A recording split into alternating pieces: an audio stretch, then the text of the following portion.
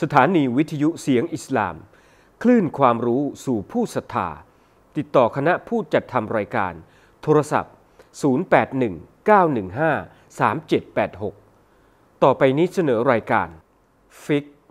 โดยอาจารย์อับดุลลาตีฟตำราเรียง بسم الله الرحمن الرحيم الحمد لله رب العالمين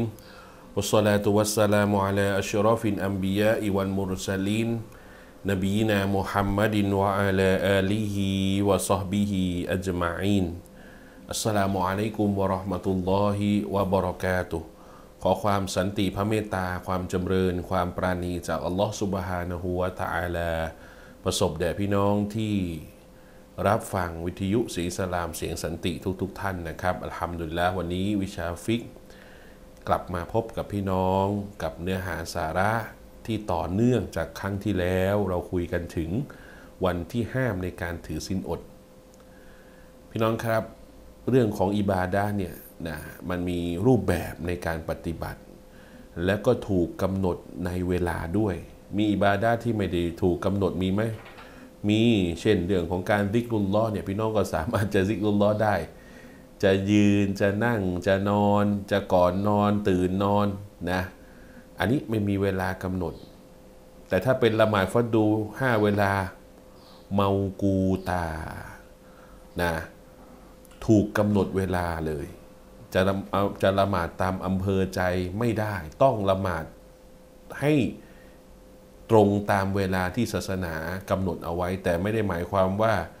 เเวลาที่กำหนดเนี่ยจะต้องเป็นเวลาที่เรียกได้ว่าอะไรจบภายใน 5 นาทีไม่ใช่ เป็นช่วงเวลา ตั้งแต่ทาซูโบกับแสงไฟยัดจนกระทั่งดวงอาทิตย์ขึ้น ก่อนก็ไม่ได้หลังก็ไม่ได้เห็นไหมอ่าคราวนี้ไอ้ท้ายเวลากับต้นเวลาเนี่ยต้นเวลาย่อมมีความประเสริฐมากกว่า ใครไปละหมาดท้ายๆเวลาโดยที่ไม่มีสาบับไม่มีสาเหตุนะ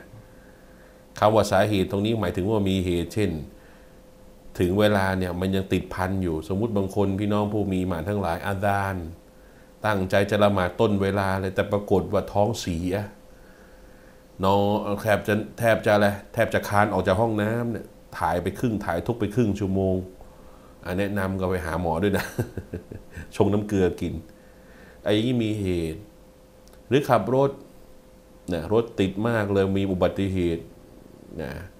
ปกติเนี่ยเที่ยงครึ่งก็ถึงบ้านแล้ว ปรากฏวันนั้นปาไปบ่ายสองกว่าจะถึงบ้าน นั่นแหละเพิ่งจะได้ละหมาด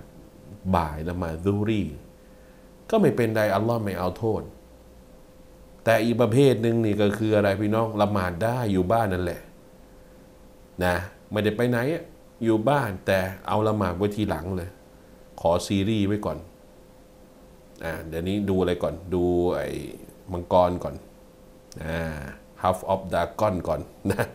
ดูซีรีส์เกาหลีก่อน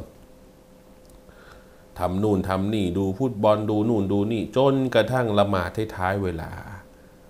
ละหมาดท้ายเวลา ถามว่าทำต้นเวลาได้ไหมได้ครับ แต่เอาละหมาดไว้ท้าย แล้วก็เอาอย่างอื่นนะที่เป็นเรื่องบันเทิงไม่ใช่เรื่องคอขาดบาดตาย เอามาไว้ก่อน แต่ถ้าเกิดเราเนี่ยต้องเป็นหมอเข้าไปผ่าตัด อันนี้ไม่ว่ากันพี่น้องถ้าเราไม่ผ่าตัด ขอพักละหมาดไอ้นั่นเป็นไงพี่น้องตาย อันนี้ต้องรักษาชีวิตก่อน ละหมาดท้ายเวลาได้ หรืออาจจะรวมละหมาดหรือไปละหมาดนอกเวลาเลยยังได้เลยพวกน้องถ้าในกรณีของมันมันเป็นการช่วยเหลือชีวิตแบบนี้ติดภารกิจผ่าตัดแบบนี้นะ คราวนี้ถ้าปล่อยแบบนี้เนี่ยมันก็จะมีมีบาปมีโทษในเรื่องของอะไรของการปล่อยปะละเลยนะส่วนมาอิหมัมชาฟีบอกว่าตราบใดที่ยังไม่หมดเวลาก็ไม่มีบาปหรอก ส่วนอิหมัมอามัดนี่ท่านมีเวลาเอาไว้ด้วย เช่นตัวอย่างเช่นเที่ยงคืนเนี่ยอีชาเนี่ยถ้าใครปล่อยจนกระทั่งเลยเที่ยงคืน โดยที่ไม่ได้มีเหตุจำเป็นเนี่ยละหมาดพ้นฟัดดูแต่บวกแต่บวกกับบาปไปด้วยทำไมบาปล่ะปล่อยปละเลย อันนี้ตัวอย่างเห็นไหมอิชาเนี่ยจริง ๆ อิชาหมด จริง ๆ ก็นู่นน่ะซูโบนู่นแหละพี่น้องเข้าซูโบก็หมด เช่นเดียวกันกับการถือสินอดนะ ก็ถูกกำหนดเอาไว้อายามามะดูดาวันที่ถูกกำหนดเอาไว้ ก็คือเดือนรอมฎอนนะครับ29ถึง30 วัน สุนัตนี่ก็ถูกกำหนดเอาไว้ เช่น วันจันทร์วันพฤหัสเนี่ยล่าสุดเนี่ยเมื่อกี้มีฮัจญาโทรมาช่วงจะอัดเทปเนี่ยจะบวชวันพุธซะแล้วนะเออวันพุธวันพุธไม่มีรอวันพฤหัสก่อน เออนะวันพุธกินกินข้าวปกติก่อนนะครับ ถ้าบวชที่เป็นสุนัตในรอบสัปดาห์ก็จันทร์พฤหัสพี่น้องจำง่ายๆเนาะจันทร์พฤหัสแล้วมันก็สะดวกด้วยนะเพราะว่าเสาร์อาทิตย์เนี่ยถ้าเราจะบวชเสาร์อาทิตย์เนี่ยไม่ค่อยสะดวกทำไมล่ะ งานแต่งเพียบเลยบารณาเลยการนี่วางกันเต้ไปหมด ถูกป่ะเออก็วันจันทร์เนี่ยเหมาะสมกับการบวชมากเพราะอะไรนะวันจันทร์พวกร้านอาหารชอบปิดด้วยร้านข้าวโกงข้าวแกงปิด ก็บวชเลยนะแต่อย่าเนียดว่าข้าวปิดนะเบียดเนียดที่ดีนะเนียดเพื่ออัลลอฮ์ตายแล้วคราวนี้ถ้าไปบวชในวันที่ศาสนาบอกว่าห้ามล่ะ ห้ามล่ะ อันนี้เนี่ยพี่น้องไม่ว่าจะมันจะไม่ได้บุญยังไม่พอมันจะบาปด้วย อย่าว่าแต่บุญเลยบุญเนี่ยไม่ได้อยู่แล้ว แต่ได้อะไรกลับมาได้บาปบางคนก็บอกอาจารย์เขาบวชนะ ไม่ได้ไปวิ่งราว ไม่ได้ไปกินเหล้าเมายาซะหน่อยคนละเรื่องพี่น้องคนละเรื่อง อันนี้คืออิบาดาที่ห้ามทำในเวลานี้ เห็นไหมเอาผมยกตัวอย่างก็ได้อ่านกุราน พี่น้องว่าดีไหมดีสิ แล้วถ้าเกิดไปอ่านในห้องน้ำล่ะ ไปอ่านในส้วม เอาซะเพาะเลยล่ะ เอาเขาเรียกอะไรนะ ละหูนะแบบแหมเพราะเลย แต่อ่านในห้องน้ำบาปไหมเนี่ย บาป เห็นยังเออดังนั้น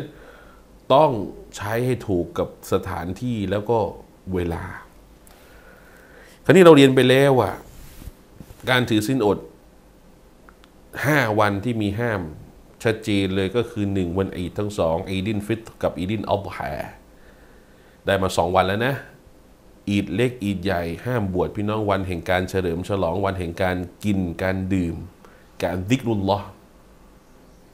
กินดื่มดิกรุลลอบางรายงานบอกว่าวะบีอัลคืออนุญาต เป็นวันแห่งการหลับนอนอะให้ให้อะไรนะมีเพศสัมพันธ์กับภรรยาได้ เพราะถ้าถือสิอดเนี่ยมันห้ามในเรื่องของการมีเพศสัมพันธ์ ต่อมาอีกสามวันก็คือวันตัชเรกวันตัชเรกนับนับง่าย ๆ ก็คือบวกไปอีกสามวันหลังจากวันอีดใหญ่ ที่เชิญกุรบันน่ะนะบวกไปอีกสามวัน ก็จะเป็นสี่วันติดอีด แล้วก็ตัชรีอีกสามเป็นสี่วัน เคยนี่หลาย ๆ คนเนี่ยพี่น้องมาตกมาตายตรงวันตัชรีนี่แหละ อีดเนี่ยไม่บวชกันหรอกเพราะว่าชัดเจนอยู่แล้วเราไปละหมาดอีดกันที่สุราวกันเลี้ยงน้ำมันโคมงมโคมเราจะกินไม่ไอเราจะไม่บวชมันก็ไม่ใช่ไงแต่อีดเล็กอาจจะมีติดไปบ้าง เพราะว่าเราบวชมายีบเก้าสามสิบวันไปสุราวยังไม่ชินท้องมันไม่ค่อยทำงานนะอาจจะไม่ได้ทานอะไรมากแต่นบีส่งเสริมให้กินตมัดนะครับกินผลัมก่อนก่อนที่จะออกไปละหมาดเพื่อเป็นการเตือนเอาไว้ แต่บางคนมาตกมาตาย นะในวันตัชริกนี่แหละทำไมล่ะ เพราะว่าวันตัชริกเนี่ยหลายคนนึกไม่ถึง ผมยกตัวอย่างแล้วกันนะ เช่นวันอีดเนี่ยตรงกับวันวันเสาร์หรือวันศุกร์ก็ได้เอาอีดพฤหัสดีไหมพฤหัสศุกร์เสาร์อาทิตย์พฤหัสศุกร์เสาร์อาทิตย์ไม่ได้ ต้องวันศุกร์อีดวันศุกร์นะอีดวันศุกร์ปั๊บ วันตัชรีก็ตรงกับวันเสาร์วันอาทิตย์วันจันทร์โอเคอีดวันศุกร์สมมุตินะนี่ผมสมมุตินะอีดตรงกับวันศุกร์ปรากฏว่าอีดตรงกับวันศุกร์ปั๊บวันอีดไม่บวชอยู่แล้ววันศุกร์ก็ไปละหมาดอีดเรียบร้อยเรียบร้อย วันเสาร์ไม่ได้บวชวันอาทิตย์ไม่ได้บวชกินเนื้อกันสองวันนะด่างเนื้อกันแจกเนื้อกุรบันกินเนื้อกัน วันจันทร์ เฮ้ย ฉันเคยบวชทุกจันเลย จันนี้ฉันจะบวชปรากฏวันจันทร์บวชเลยพี่น้องกลายเป็นวันจันทร์นั้นนะบาปบวชบาปทำไมบาปล่ะ มันไปตรงกับวันอะไรวันตัชรีวันสุดท้ายใช่ไหมศุกวันอีดวันเสาร์ตัชรีกวันที่หนึ่งวันอาทิตย์วันตัชรีกวันที่สองวันจันทร์วันตัชรีกวันที่สามอันนี้ตัวอย่าง กลายเป็นวันเสาร์วันวันจันทร์ที่ปกติเราถือสวดวันจันทร์พฤหัสจันทร์พฤหัสเนี่ยกลายเป็นจันทร์นั้นนะฮารอมบวช เพราะไปตรงกับวันตัชรี เห็นยังเนี่ยมีคนพลาดพลาดแบบนี้นะเออคือคือใจเขาเนี่ยดีมาก พี่น้องอยากจะบวชจันทร์พฤหัสจันทร์พฤหัสแต่ลืมไปว่าไอ้จันทร์ที่หลังจะอีดนะมันคือจันทร์ที่เป็นวันตัชรีแสดงว่าเขาจะไปเริ่มบวชสุนัตอีกทีหนึ่งก็วันพฤหัสเลยนะครับ ต่อมาพี่น้อง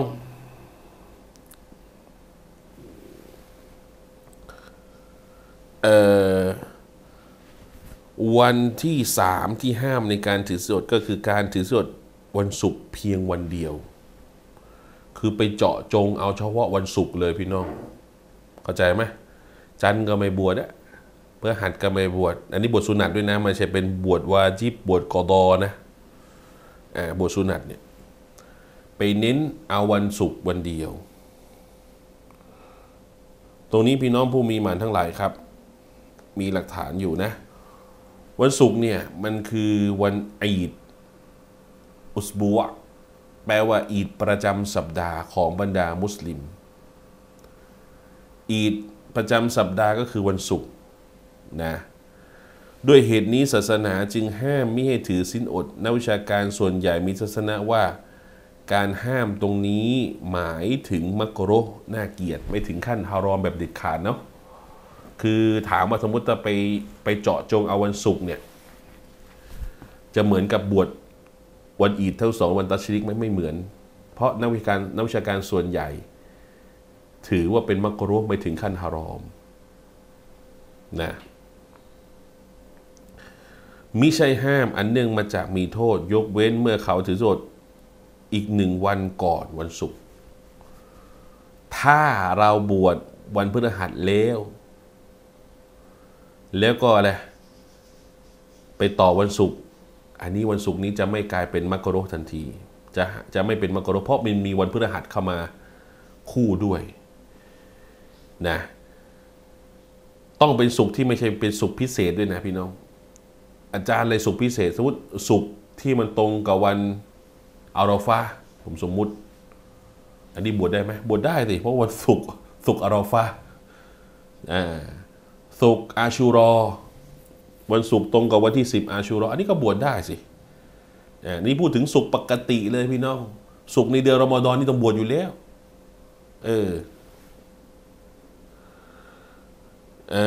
เมื่อเขาถือสวดอีกหนึ่งวันก่อนวันศุกร์หลังหรือหลังจากวันศุกร์ร่วมไปด้วย ถ้าสูบวชวันศุกร์นี่มักโรแล้วต่อวันเสาร์อีกวันหนึ่งอันนี้ไม่มักโรแล้ว หรือมันไปตรงกับวันศุกร์พอดี อันเนื่องมาจากศุกร์นั้นเป็นวันออรอฟา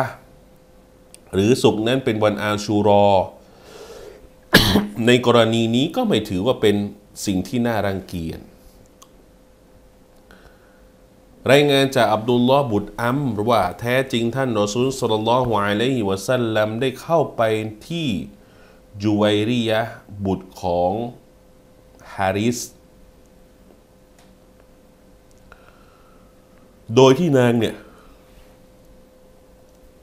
กำลังถือสินอดในวันศุกร์อยู่ ไปหาใครนะจูไวรียะบุตรของอัลฮาริสนางกำลังถือสวดอยู่ในวันศุกร์ท่านจึงได้กล่าวแก่นางว่าอาซุมจิอัมส์ เธอถือสวดเมื่อวานหรือเปล่า เมื่อวานเนี่ยเธอถือสวดเปล่า หมายถึงวันพฤหัสที่ผ่านมาเนี่ยถือสวดเปล่าฟกอและนางก็บอกว่าเละไม่ได้ถือค่ะกอละอัตูรีดีนะอันตะซูมีก็ดัน นบีก็ถามต่อว่า แล้วเธอเนี่ย ต้องการที่จะถือสิ้นอดในวันพรุ่งนี้ต่ออีกวันหนึ่งปะ ไอ้วันศุกร์เนี่ยถือแล้วไม่ว่ากัน แต่พรุ่งนี้ถือตั้งใจจะถือด้วยไหมกอลัสนางก็บอกว่า และไม่พูดง่ายๆก็คือสุกเดียวๆเลย ก่อนก็ไม่มีหลังก็ไม่มีเน้นไปเอาวันศุกร์เลย ซึ่งบางคนเนี่ยก็เข้าใจว่าเอาวันศุกร์วันดีที่สุดอะทำไมบวชไม่ดีอะเห็นปะนี่คือมนุษย์ไงเราไปได้ยินความประเสริฐของวันศุกร์จำได้ไหม วันที่ดีที่สุดในบรรดาวันที่ดวงอาทิตย์ขึ้นจากขอบฟ้าคือวันศุกร์วันอีดประจำสัปดาห์ วันที่มีซุนนะให้ปฏิบัติอะไรที่พิเศษพิเศษ เช่น การสละวัตนบีให้มากๆ มีช่วงเวลาที่ดูอามุสตายับในช่วงท้ายของวันศุกร์มีซุนนะให้อ่านสุรากาฟี มีละหมาดจุมะมันน่าจะดีนะ ถ้าเราบวชไปด้วยวันศุกร์นี่นี่คือคือความเข้าใจของมนุษย์เรา เออถ้าพูดแบบนี้ดูฉันมีเหตุผลเลยนะเห็นไหม ก็วันศุกร์วันดีทำจะบวชไปอีกวันหนึ่งเป็นไรล่ะ เออ จะบวชสุนัตวันศุกร์เป็นไรล่ะ อันนี้คือมนุษย์คิด แต่เนี้ยฮะดิษเนี่ยมามาถามเลยนะว่า นบีถามว่าอะไรเมื่อวานบวชหรือเปล่าวันพฤหัส และไม่ได้บวชแล้วก็พรุ่งนี้คิดจะบวชไหมไม่บวชแสดงว่าต้องต้องการจะบวชวันศุกร์อย่างเดียวก็ละฟาอัฟเตอรี อีดันนะถ้าอย่างนั้นเธอก็จงละสินสดละสินอดเธอนบีให้ละเลย ถ้าไม่คิดจะบวชเพราะว่ามันมักกะโรพี่น้องเข้าใจเขามักกะโรป่ะศาสนาตำหนิไม่ได้บุญนะ จะทำทำไมล่ะ ในเมื่อมันเป็นมักกะโรพี่น้องมักกะโรนี่ศาสนาตำหนิบวชแบบเนี้ยศาสนาตำหนิ แล้วเราจะบวชเพื่อเพื่อให้ศาสนาตำหนิเรา ให้อัลลอฮ์ให้อัลลอฮ์เขาเรียกอะไรเกิดความ ไม่ดีเกิดขึ้น ไม่ถึงขั้นฮารอมบาปอะคือมักกะโรก็ให้เราหลีกเลี่ยงแล้ว เพราะว่าเราทิ้งมักกะโรได้บุญ จึงไม่แปลกว่าทำไมนบีบอกให้ไปแก้บวชก็ได้บุญไงการแก้บวชได้บุญนะรายงานจากอามิดอันอันซอรีบอกว่าฉันได้ยินท่านรอสูลลอฮ์สัลลัลลอฮุอะลัยฮิวะสัลลัมได้บอกว่าอินนามันอินนะเจ้ามันจุมะ อีดุกุมฟาลาตาซูมูหูแท้จริงวันศุกร์นั้นเป็นวันตรุษเป็นวันอีดของพวกท่าน ดังนั้นฟาลาตาซูมูหูพวกท่านจงอย่าได้ถือสิ้นอดในวันนั้น ก็คือวันศุกร์อิลลาอันตาซูมูกับละหูเอาบะดาหูเว้น แต่ท่านจะถือมาก่อนหน้านั้นแล้วหนึ่งวัน เช่นวันศุกร์ขอโทษทีวันพฤหัสบกศุกร์ เอาบะดาหูหรือจะเป็นสุกบวกเสา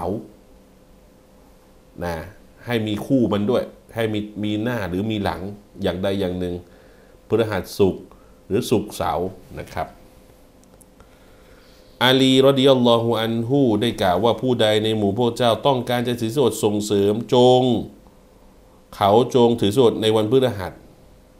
นะเขาจงอย่าถือสวดในวันศุกร์ เพราะมันเป็นวันวันที่อาหารและเครื่องดื่มเนี่ยในการดื่มในการในการกินในการลำลึกถึงอัลลอฮ์สุบฮานะฮูวาตาละซึ่งในสมัยก่อนพี่น้องผู้มีมานทั้งหลายเขาก็มักจะทำบุญ ถามว่าเวลาเขาทาบุญหลังละหมาดทำวันไหนก็วันศุกร์นะเหมาะมากเห็นไหมอ่านี่ก็คือตัวอย่างหนึ่งนะครับอะเดี๋ยวเรามาติดตามกันต่อในตอนต่อไปوبالله التوفيق والهداية السلام عليكم ورحمة الله وبركاته ที่จบไปแล้วเป็นอาจารย์ อับดุลลาตีฟตำราเรียง ผลิตรายการโดย สถานีวิทยุเสียงอิสลาม คลื่นความรู้สู่ผู้ศรัทธา สื่อบริการสาธารณะ สื่อที่ไม่มีโฆษณา ร่วมสนับสนุนการทำงานศาสนาได้ที่ ธนาคารกสิกรไทย เลขที่บัญชี 009 8493 999 ชื่อบัญชี วิทยุเสียงอิสลาม